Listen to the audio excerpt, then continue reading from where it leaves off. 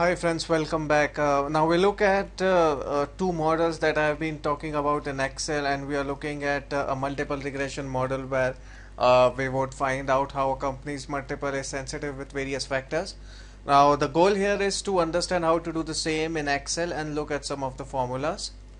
So the engine or the heart of this engine is the linest function that uh, that would do the multiple regression and give uh, the values to you. At the same time an interesting part here is that uh, you need to reduce the size of the linest function because uh, you need to make sure that when you add uh, more variables things go automatic. So you should have an option to make sure which variable you choose. So let me show you how. So for example if you look here I have an option to select uh, which variable I want. So if I select a true and under that that's debt to EBITDA the next true is capex to sale.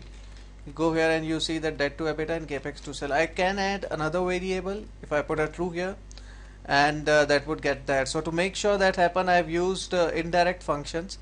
And what indirect function is doing is uh, finding out uh, uh, the dynamic ranges that should go into the linest function so when I add another function here say suppose I want to find out how does the multiple change on return on equity variable I'll put a true here and return on equity would jump in here so to do this I have created this dynamic range that would help me resize the multiple linear regression equation part and, and, and would help me to move ahead from there. Now let's look at the final output here. So if I look at the final output here, I have two things that I want to look at. Uh, first thing is that the regression should make sense statistically and the second is contribution of these variables to build up the multiple should make sense. So I'm talking about Elbit Systems here. So uh, when you look at the multiple of L-bit and you see that EV by EBITDA multiple is say suppose 7 or 8 uh, at this time how does growth, market factors, cap capital expenditure, leverage, and intercept uh, contribute uh, to the multiple formation? So when I look at that, I have uh, I have actually predicted it, and let me show you how it goes into the old numbers. So if I take old values, another variation that I could take is the next 12 month and the last 12 month uh, values. So that's another variation that I could add into but this is how I have ac actually used the actual and the model fit numbers.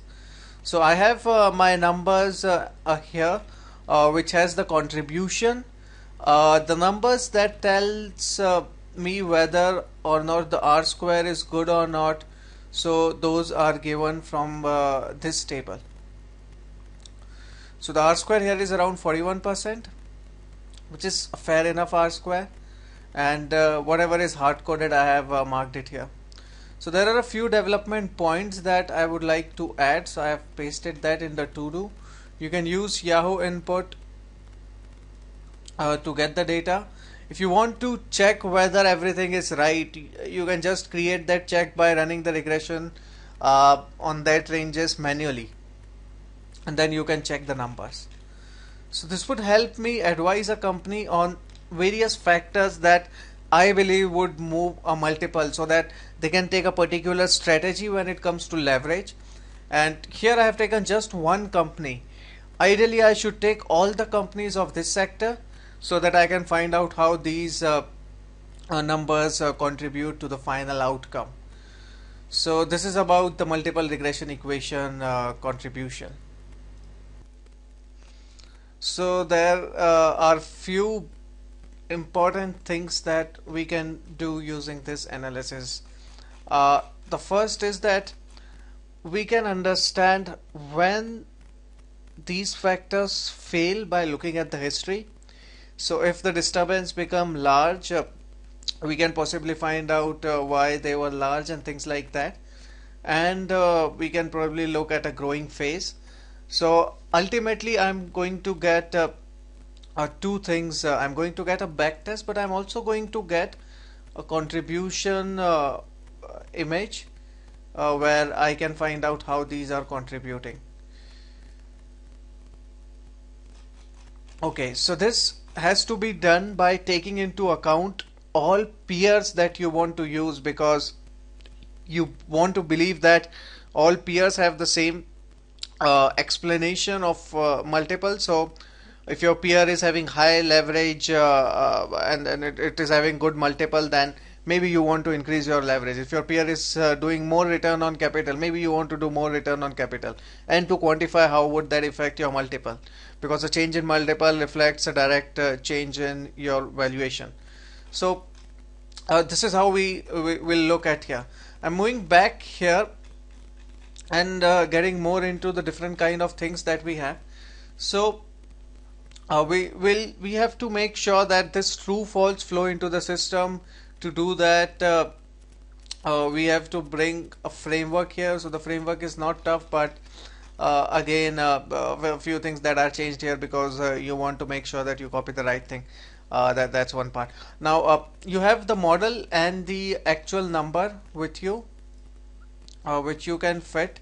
Uh, it, it, it, it's being corrected uh, uh Uh, for uh, what you want to do. So uh, th that's how you're going to look at things. Uh, uh, now when we move ahead from here you have selection of like 16 parameters because Excel allows 16 parameters and not more than that. So in in case you are looking at different numbers in, in case you want to get more numbers then uh, you can get uh, those numbers as well now there are two things here uh, the difference between NTM and LTM and the importance of growth in explaining the multiple so uh, let me see if I have something here yeah here it is so growth now when we look at technology company, the maximum contribution uh, is probably explained uh, uh, by growth. Maybe in defense, it's more about uh, the distribution thing and things like that. Uh, that's one part. Uh, in, in and the equation that you get is for the whole sector. the other part that you want to make sure that you get is when you have this regression equation, you have you can have like more than hundred factors which you can uh, then group and uh, you can make sure that you uh, uh use the right uh, group so you can have a macro group. You can have a return policy group. You can have a leverage group. Now your leverage group would have the debt to EBITDA, the debt to equity, the debt to total asset and you want to fit in that makes more sense to you. So a, a lot of uh, permutations required here. And and the other part is uh, the NTM versus the LTM uh, numbers. So most of the times uh, the multiple is forward looking so uh, we would uh, use the NTM number because even going back into the history we want to make sure that we have those things accounted for so this is uh, the contribution. Now uh, for this you have to pull uh, the, these data for all the companies, get it uh, into Excel and perform the regression. I'll, I'll show you an alternative way to do the same in R uh, and how to change uh, the regressant in R. So that's that's something that I plan to do in, in a later thing. Okay, so that, that was about sectors. Now each sector behave in a different way.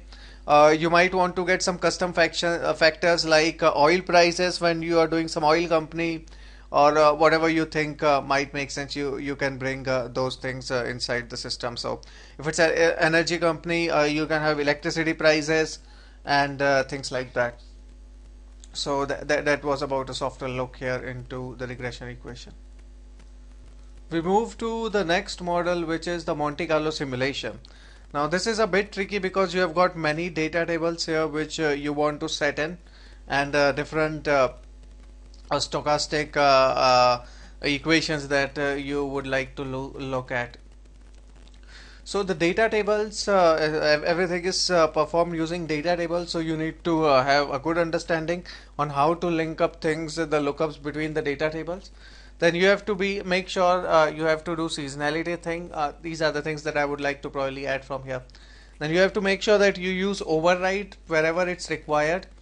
Uh, you need to have those repo functions built in. Uh, you need to make um, uh, of the volatility and explain how that volatility is explained by you need to make a waterfall model on how the company is going to use its funds uh, into the future. You have to use uh, uh, a VBA add-in to get all those things. You need to make sure that you uh, you can draw histograms dynamically and you pull a, a data server from Yahoo and use a log uh, join. Now join split would add another dimension uh, to the data table. So this is your input now your input uh, you want to have uh, EBITDA uh, uh, uh, multiple margin and and that's where your engine is built up of. So I I've been talking about main engine building elements that that would be used for for the MC setup. So let me write that again so which stochastic uh, uh, processes would be used? So uh, we would use uh, evolution of sales into the future margin multiple that's internal interest rate S&P did I miss anything? So uh, sales margin multiple and yes CFO and yeah I, I think that is it because uh, you need to clean those uh, net income and the CFO so you need to have this option as well. Uh, and and the broad market parameters I'll, I'll make sure that I I have those in the framework. Now after giving the input uh, let me show you uh, how the output would uh, look like so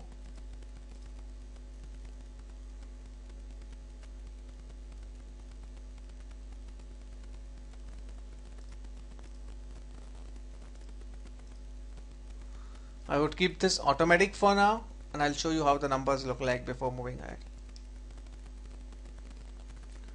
So here I have kept three things uh, stochastic sales margin and multiple which means that I am assuming that they will follow uh, a, a, random uh, walk into the future. Uh, don't uh, catch me on that word, but we follow that they'll have randomness into the future and they'll be uh, uh, evolving over the time. In, in simpler words, if I put that.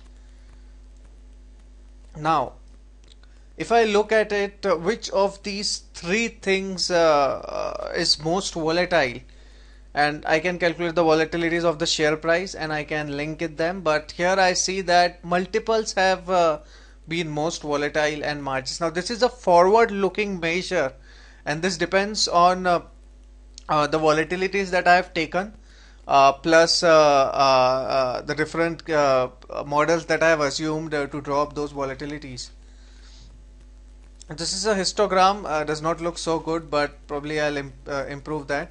It's a bit uh, tricky to make because uh, you need to make the bin size then you need you need to use a very big count function where uh, this becomes uh, tricky. So uh, that's where you will get that. Now then you have those numbers that you want to look at and you want to draw the path. So let's look at a very simple model. This is AR010 model where you are regressing t with t minus 1 so you first calculate the slope and the intercept from the past and you use that uh, to develop a model into the future. You may need to make sure that you scale up uh, the residuals which are normally distributed. So I say that uh, the future price is uh, an intercept multiplied by a plus uh, a slope term multiplied by the value of the last term plus a residuals. Now this residuals I can play a lot because uh, I can have correlated residuals as well. So for now I'm assuming that these residuals are independent which means that all these processes are independent. They are not affected which is not a very good assumption to take. So I need to take the correlated residuals but okay it's, it's fine till now. So I make these parts and this is how I see the next uh, 20 uh, quarters 20 quarters or 5 years? So I am trying to predict how things would go for the next uh, 5 years. I need to cap these things because sales cannot go negative. So I, I would rather use a cap. So this is the uh, the simple model for the sales. Uh, then you have deseasonalization. I've shown some example. Uh, uh, you you might be tempted to believe that uh, you would use a jump diffusion model. I have borrowed this from investexcel.net uh, uh, where you will have a jump in uh, a multiple because that's related to price. So you you not don't know when that jump is going to happen. You need to recalibrate numbers from the past.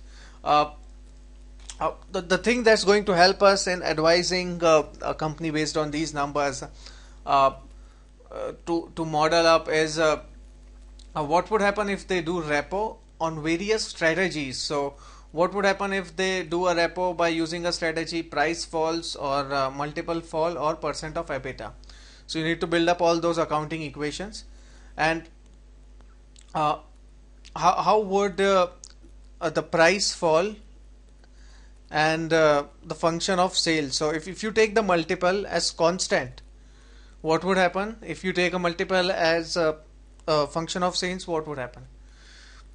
so and and what would happen if you take different stochastic equations? So that that's area. So here you see, uh, this is the return percent of uh, EBITDA and function of sale jump diffusion. So you have taken multiple constant versus a jump diffusion model for the multiple. so you are finding out internal rate of return on all these policy making. So for that you have used a jump diffusion model to model the uh, uh, EV by EBITDA multiple. Uh, you can probably uh, uh, take that constant if you would like to, but that's not a good idea. Then you have mean reverting margins. Because you want to believe that margins would revert to their mean.